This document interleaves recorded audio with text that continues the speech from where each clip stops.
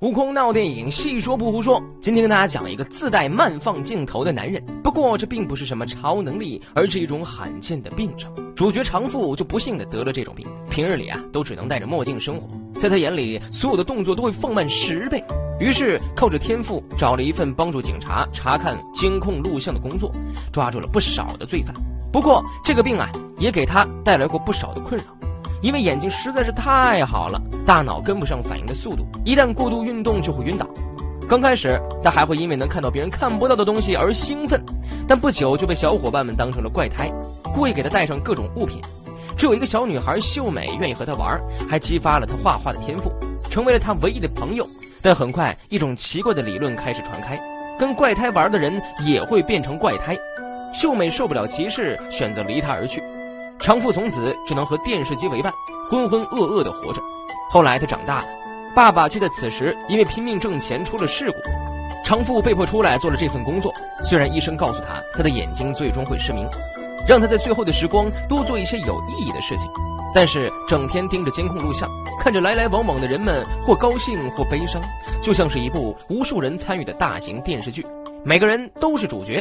每天都在上演着相同或者不同的剧情，他把它们一一画了下来，觉得这才是最有意义的。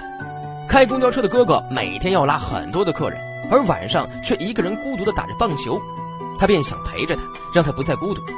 小巷中每天起得最早的男孩要为生计奔波拖车，却很自豪地觉得自己有个虽然生病但很强悍的老爸，只要自己叫他就一定会醒。隔壁座的同事一直跟他搭讪。渐渐的成了长富为数不多的珍贵朋友，还有他最最心爱的秀美也回来了。虽然他变了很多，还要还父亲欠下的巨额高利贷，但是他在秋日最温暖的阳光中，带着最灿烂微笑，又唱又跳的样子，还是让长富心动。从此，观察秀美成了他每日必做的事情。知道他回家要爬很长的坡道，便细心的为他搬来了旧沙发。看见他忘记带伞，便鼓起勇气去给他送。不过秀美却完全忘记了他，还把他当成了变态。看来呀，自己万年单身狗的体质是吸引不了秀美了，只能到处咨询撩妹的方法。可是身边的男性都是这样、这样和这样，嘿嘿，果然不靠谱啊！这直接整成了陈奕迅呢。秀美也是一个直性子，有功夫把泡面放头上，不如直接送我一下。作为宇宙无敌的直男，长富照做了，秀美也终于被逗笑了。渐渐的，两人有了交集。长富不再只盯着监控，而是跑去他要经过的每一条胡同，细心的记下步数。而秀美也会在镜头下做出各种可爱的动作给他看。这个痴傻的有点可爱的男人就这样陷入了爱里。看到他被追债的人堵在路口，便和大叔骑着车赶来救他，勇敢地抓住追债人的手不松开，直到大叔带他已经走远，再灰溜溜地跑开。之后两人一起去森林里散步。秀美说，在落地前捉到就能实现愿望。于是，他就利用自己的动态视力，不停地抓取落下的树叶，让他许愿。听到秀美想要去看大海时，他有些犯难，自己是不能开车的，而周围也都是一些没车的穷鬼，于是便看上了公交车大叔，主动和每天在监控录像里的人相遇，努力地融入其中。他理解他们的孤独与无奈，就像是最熟悉的陌生人。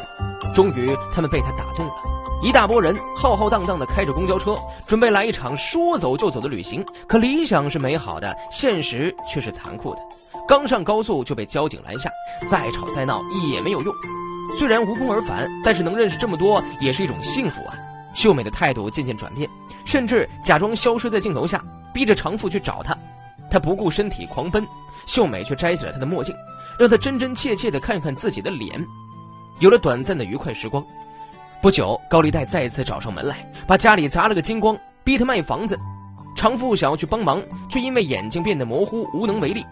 最终，秀美只能卖了房子，准备离开。这时，却被一个连环杀人犯盯上。长富为了救他，不顾一切的骑车去追，视力渐渐消失了，最终还是跑了起来，救下了他。但剧情远远没有我们想象的让人悲伤。